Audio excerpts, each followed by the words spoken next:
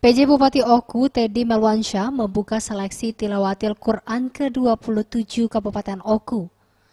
Kegiatan ini dipusatkan di Komplek Islamic Center Batu Raja.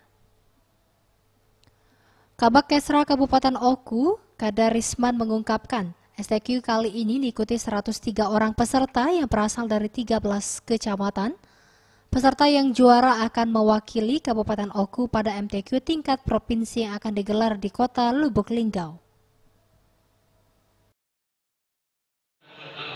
Untuk mengikuti seleksi tilawatil Quran tingkat provinsi Sumatera Selatan yang akan dilaksanakan bulan Mei di Lubuk Linggau.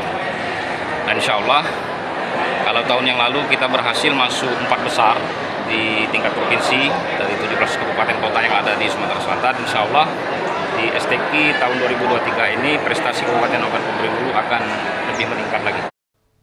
PJ Bupati Oku Teddy Malwansyah mengungkapkan akan memberikan reward secara khusus bagi peserta yang bisa masuk tiga besar pada MTQ tingkat nasional yakni berupa umroh.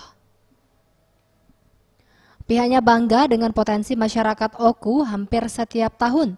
Oku memiliki wakil yang melaju hingga tingkat nasional. Peserta, kami lebih bangga, lebih bahagia kalau peserta itu adalah memang putra putri terbaik dari Kabupaten Komering Ulu. Untuk itu kami juga tadi eh, menyampaikan supaya mereka semangat, mereka termotivasi, ada banyak uh, hadiah uh, reward dari kami.